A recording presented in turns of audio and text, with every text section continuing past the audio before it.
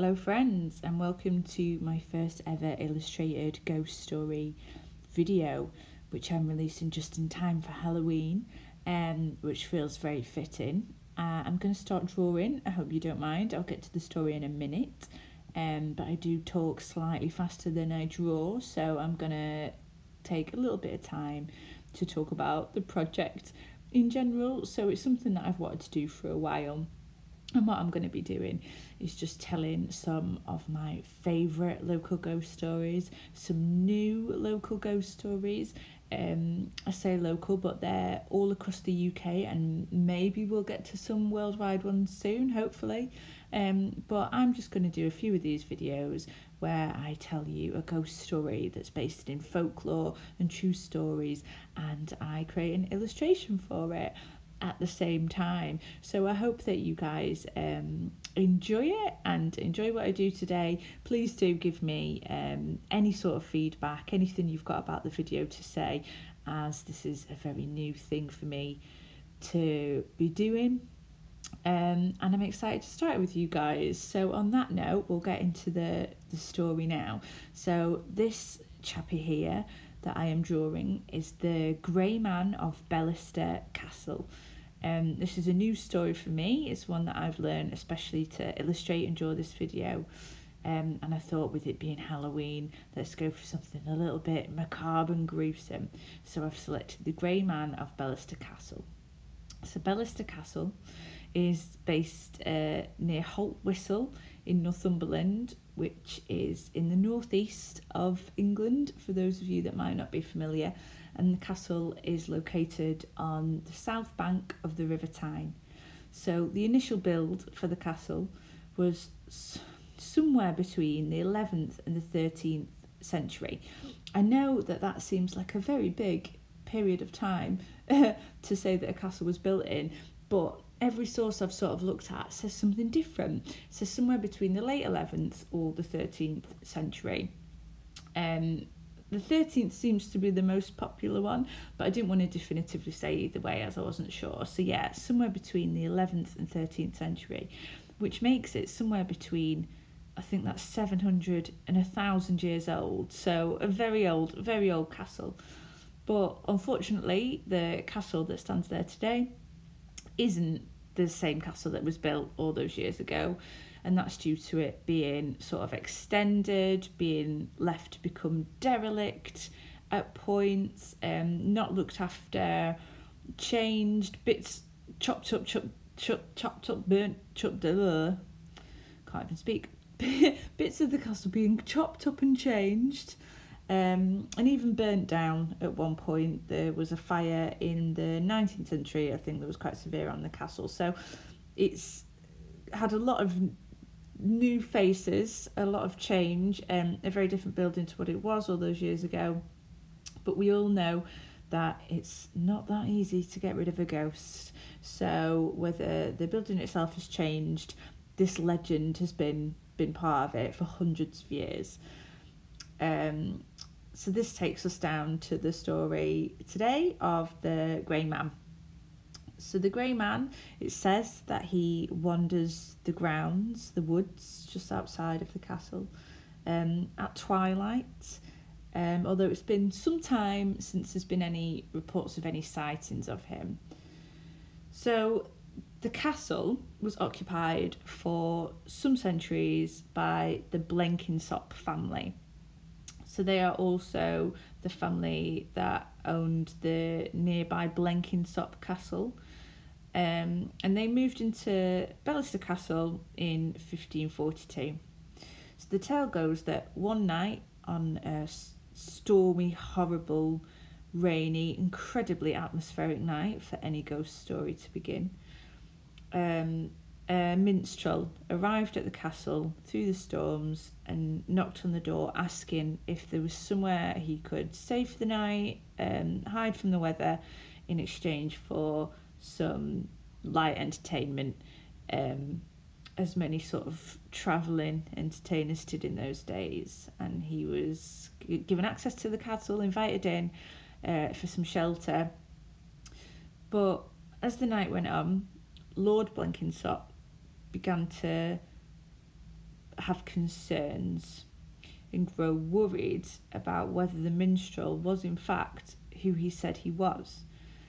The Lord became um, frightened that perhaps the minstrel was actually a spy, someone sent by his neighbours or by his enemies to gain access and information from within the castle, which could be used against Blenkinsop to to harm him. So the night went on, and Lord Blenkinsop became more suspicious. His suspicions grew, and they grew to a point that the minstrel started to sense that something was wrong. And he began to tell that he wasn't very welcome, that his host had turned sour towards him, and that maybe he was in danger by being there. He possibly didn't work out exactly what the the Lord's issue was in suspecting that he was a spy, but he sensed enough to know that maybe he should leave and clear out. So he did. In the night, he fled the castle for his own safety, and when it was realised, the Lord took this as a confirmation of guilt. Why would an innocent man who had come asking for shelter flee the castle in the middle of the night, in the middle of a, of a storm? They wouldn't. It made no sense. So, this was confirmation of guilt as far as the Lord can see, and signed the death warrant for the poor minstrel. Um, a party was arranged, a hunting party, um, and the dogs were set after the minstrel um, as he fled the nearby woodland to the castle. Now, there are some variations in how the story is told as to whether the dogs got, got to the poor minstrel and tore him limb from limb and left the poor man for dead, or whether the dogs merely halted the minstrel and it was, in fact, um, the Lord's men that caught him, strung him up, and hanged him from a nearby tree. But what all versions of the story agree on is that this was the end of the poor minstrel. So the story then becomes the sightings of the ghost. It is thought that he wanders because of the unjust, violent end that he met. And the revenge sorry revenge is what this haunted minstrel now has on his mind. Um so the sightings that are told about the minstrel um that I'm trying to capture here in this illustration are that he is an old man he's got angry eyes and long white hair and a long white beard, and he wears tattered grey robes. Um, he is seen at dusk, at twilight, as I've said, wandering in the woods, and it is thought that it is a bad omen to meet the minstrel upon your walk to the point where walkers and locals would avoid those woods at sort of twilight, early evening hours. Um, so it said that the old man is seen, yet with his grey hair, his angry eyes, his tattered grey robes. He is carrying a bundle, but no one can sort of determine what that bundle is.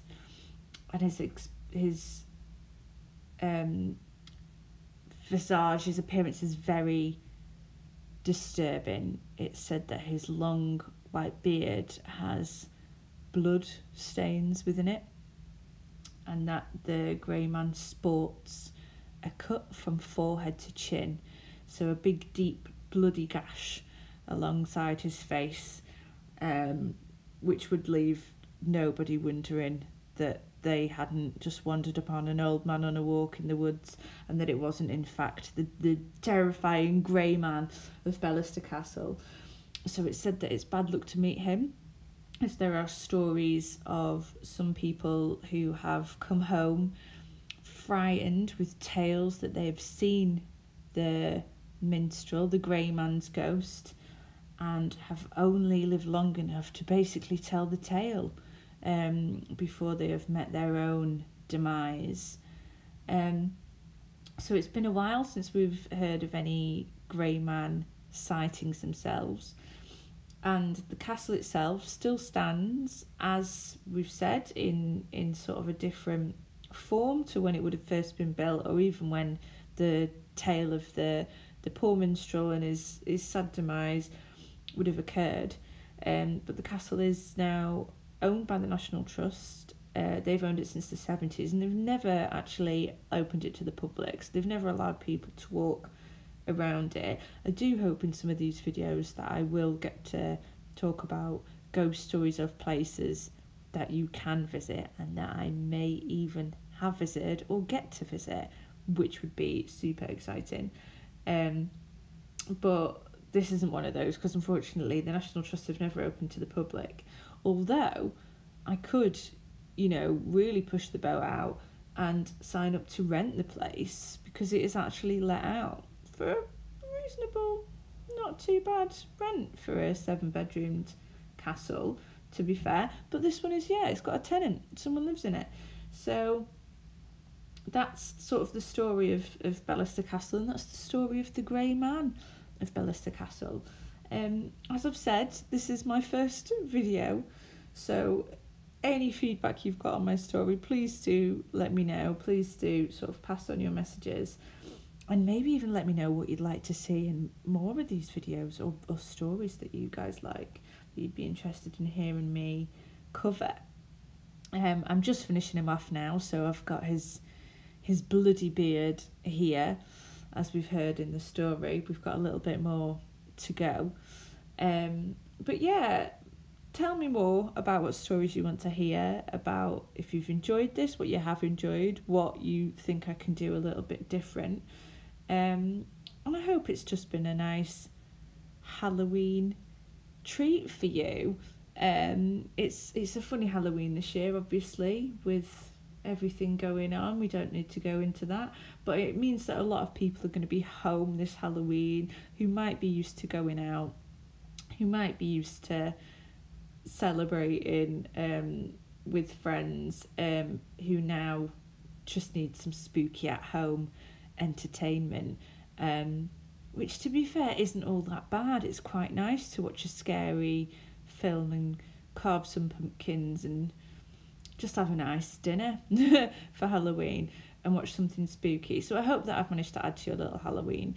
Um, what I do have as well, if you are interested, um, this week on my website, if you go into my blog from last week, I can't remember the day, I think it was last Thursday's blog, um, I actually uploaded a Halloween card as well as an added treat for everybody this Halloween. So that's free to download from my website.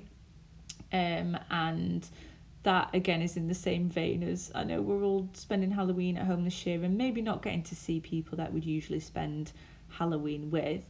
Um, so there's a card there if you want to send it to people, um, or keep keep it for yourself. Uh, you know, it's a cute little ghost and a pumpkin that I've drawn. But as I've said, just go on my website. Um, which is sianellisillustration.co.uk, and that's totally free to download. I don't ask for any email addresses or information or anything. You can just go go along and grab it. Um, but yeah, please do share with me ghost stories you like to like me to cover. Anything that you um, have as feedback from today's episode. Um, as I just finished the the bundle and the weathered hands of our now gashed, frightening grey grey man. Um, and I hope that you come back for some more stories. I'm hoping to do these videos every two weeks, um, and I might even get to add some extra content um, on my Patreon page for the videos as time goes on. So yeah, have feel free to have a look at my Patreon page too. You'll find the link for that in um, the notes for this video, but it's just at this is Sian Ellis is my handle for Patreon, Instagram, Facebook, everything. So yeah, if you're new to my work and want to have a look at my illustrations, otherwise at this is Sian Ellis come and have a look. Um, I'm on most social media platforms, so come over and say hello. Um, and most importantly, have a wonderful, happy Halloween. Thank you so much. Bye.